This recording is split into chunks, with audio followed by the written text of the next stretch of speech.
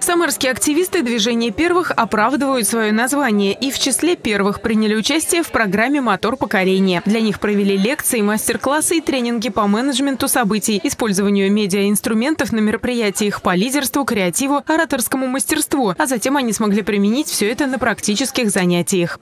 Все, я очень быстро поняла, схватила все на лету и готова уже прямо сейчас.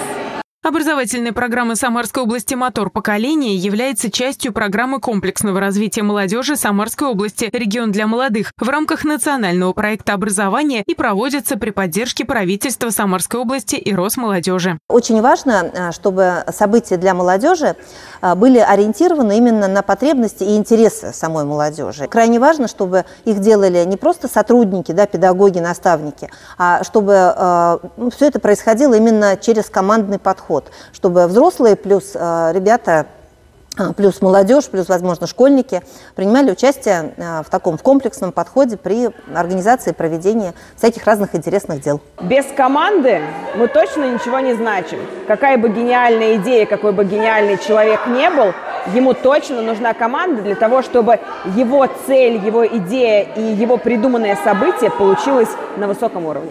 Впереди у проекта еще три смены. Следующими участие в нем примут сотрудники вузов и среднеспециальных учебных заведений, отвечающих за реализацию молодежной политики. Затем обучение проведут для руководителей и активистов клубов, молодежных объединений и общественных организаций. Итоговая смена примет руководителей и сотрудников муниципальных органов по делам молодежи и городских учреждений в сфере молодежной политики. Виктория Шары, Андрей Горгуленко. События.